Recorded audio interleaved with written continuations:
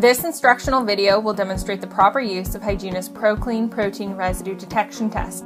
If ProClean is kept in cold storage, let the test acclimate to room temperature before testing begins. Remove a device from the foil pouch. You may choose to write the test location or time of the test on the label for easy identification. Holding the swab tube, twist and pull the swab out of the tube. Swab a 4x4 inch square area, making a crisscross pattern, applying sufficient pressure to create flex in the wand, and rotating to collect sample on every side of the swab tip.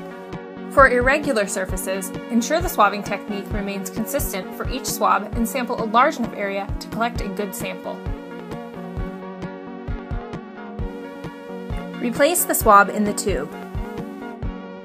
Hold the swab tube firmly and use the thumb and forefinger to break the snap valve by bending the bulb forward and backward. Squeeze the bulb twice to expel liquid down the swab shaft and shake for 5 to 10 seconds.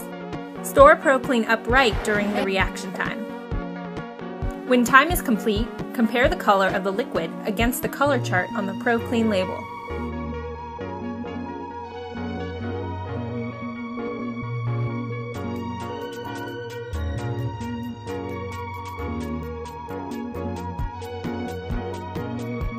For additional information about ProClean or any other Hygiena product, contact us with the information on the screen.